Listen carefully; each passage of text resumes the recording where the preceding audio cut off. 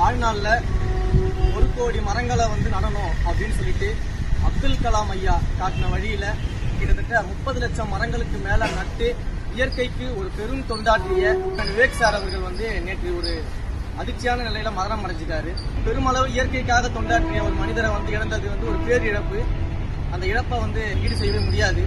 நம்மளுடைய தளபதி விஜய் மக்கள் இயக்கம் காஞ்சிபுரம் மாவட்டம் ரசிகர்களின் சார்பாக விவேக் சார் அவர்கள் தொடர்ந்த அந்த ஒரு கோடி மரம் நடனம் அப்படின்ற அந்த இலக்கை வந்து அடையிறதுக்காக அவருடைய கனவை நிறைவேற்றுவதற்காக இன்னைக்கு முதற்கட்டமா மரமலை நகர்ல மரக்கன்றுகள் நடும் விழாவை வந்து தொடங்கியிருக்கோம். இது இந்த ஒரு நாளோட முடிகிற விஷயம் கிடையாது.